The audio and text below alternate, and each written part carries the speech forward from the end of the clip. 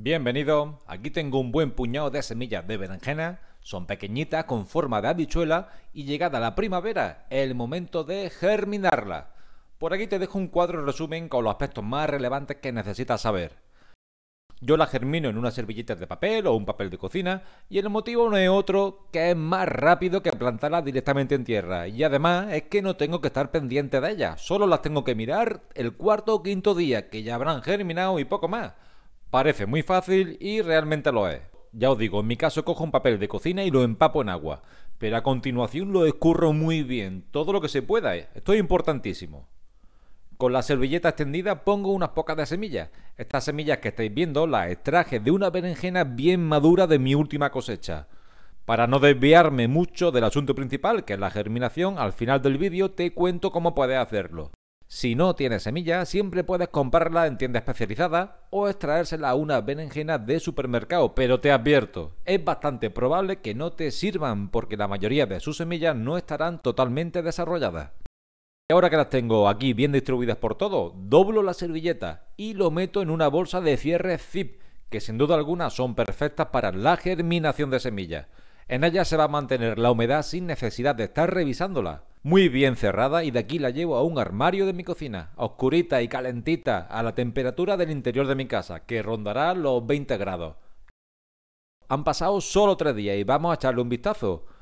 Mirad, muchas de ellas ya han empezado a germinar y están geniales, pero aún son muy muy muy pequeñas un día más y ya van cuatro y miras cómo están, con una raicilla muy apañada. Hoy va a ser el día en que las plante en tierra. Aquí tengo unos tiestos pequeños, con la tierra muy bien humedecida y simplemente hago un agujero no demasiado grande ni profundo, acorde al tamaño de la semilla y de su raíz. Y con mucho, muchísimo cuidado, introduzco la raíz. Aprieto despacito por los lados y el exceso de agua, mira, chorrea por aquí abajo. Ya está, ya está, ya tengo una. Y ahora repetir la operación con el resto.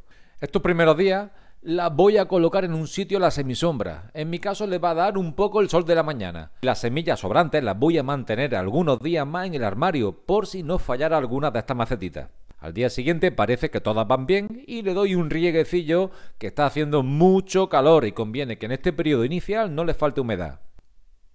Otro día más y ya se le aprecia un buen cambio. Las primeras hojitas empiezan a asomar y tienen un estupendo color verde. Como todas han agarrado bien las semillas del armario, las voy a tirar definitivamente, que no de pena, que de todas maneras pronto no nos servirían.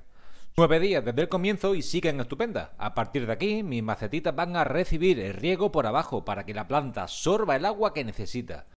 Con 14 días ya tienen algunas hojas bastante desarrolladas y con 20 días han experimentado un gran cambio, tienen otro porte.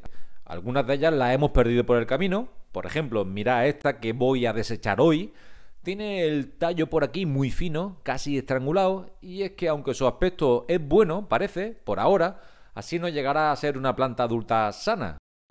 Y con exactamente un mes las raíces ya ocupan casi todo el espacio de la maceta y por mucho que las dejéis aquí no van a crecer más, así que necesitan más espacio para seguir desarrollándose.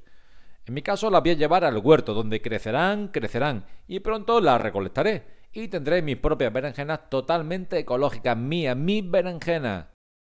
Y como te dije al principio, te explico cómo debes extraerle a las berenjenas sus semillas.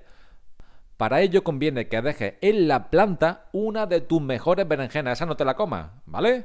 Y que crezca y crezca. Verás que se hace muy grande y cambia de color. Eso es señal de que ya está madura. Si las comparamos con las que normalmente recolectamos para consumir, hay una gran diferencia, pero son realmente las mismas. Para quitarle la semilla abro bien la berenjena y sin miedo se la saco, así a lo burro. Y como antes te comentaba, estas semillas ya sí son óptimas para germinar. Las lavo muy bien y dejo secar en una servilleta o papel de cocina unos días. Las separo con cuidado y las embolso. Aquí podrán aguantar dos o tres años en perfecto estado. Y eso es todo amigos, espero que os haya servido de ayuda. Si os ha gustado, dale a me gusta, suscribiros si os apetece. Soy el Tito Compae, un saludo y hasta la siguiente germinación.